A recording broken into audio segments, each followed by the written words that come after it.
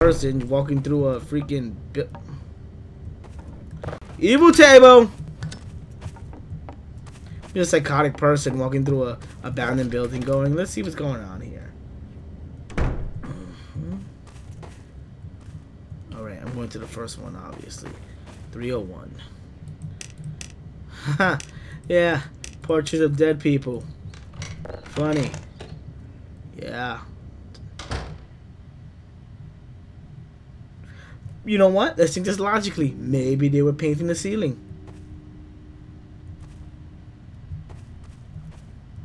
Maybe they were painting. Maybe they're painting. Maybe. Maybe I shouldn't be lighting these candles. Maybe these candles are evil.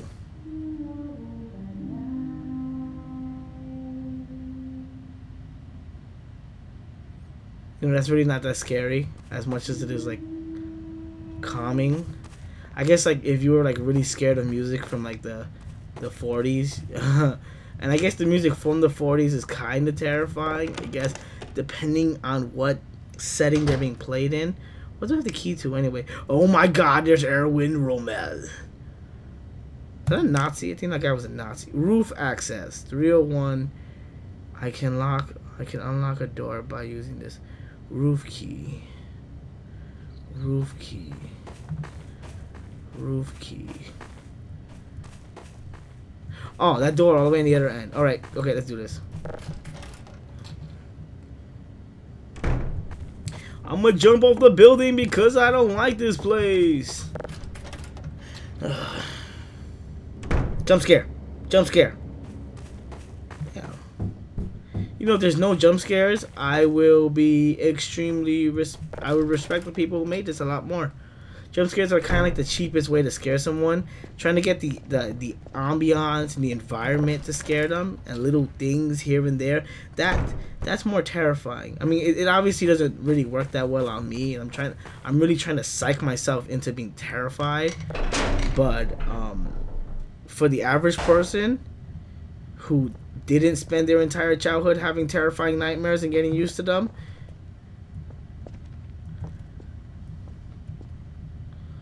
Uh, yeah. Buried Alive was one of my worst fears till I figured out you would actually die before you probably even figured out you were buried alive from the lack of oxygen. Alright, let's do it.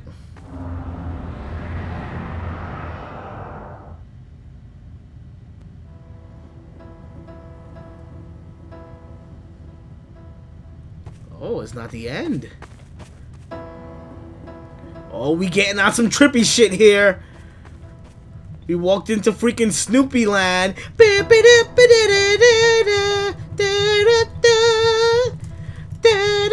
Oh, Snoopy, uh, Peanut Gallery. Um, is it the Peanuts? Uh, Charlie Brown and shit. You guys remember when Charlie Brown was flipping out on acid and for, instead of colors he saw nothing but black and white and he was like, "Oh, our world is entirely drawn by hand." I had no. Is this supposed to be hair?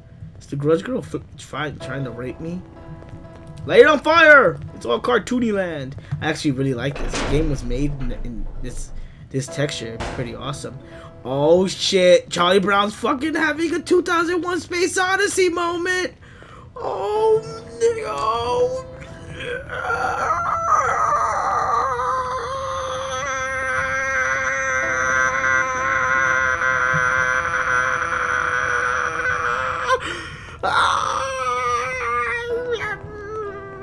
seriously, I can't I can't keep doing that sound. Oh.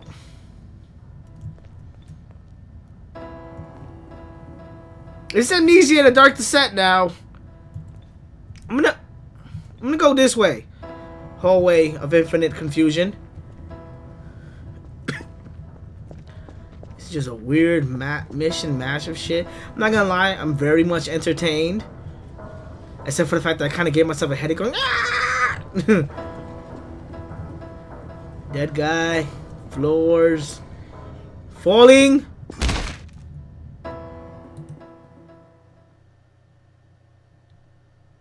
Silence.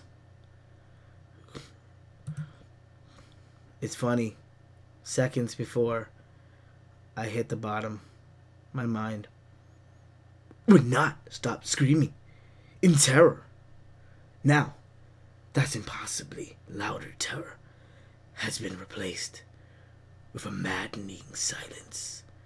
My legs may have broken corpse, an unrecognized lump of flesh and bone, but it's irrelevant now. She changed my voice. With a loud snap, possibly a crunch thrown in of everything I've become conscious is of, of, of words.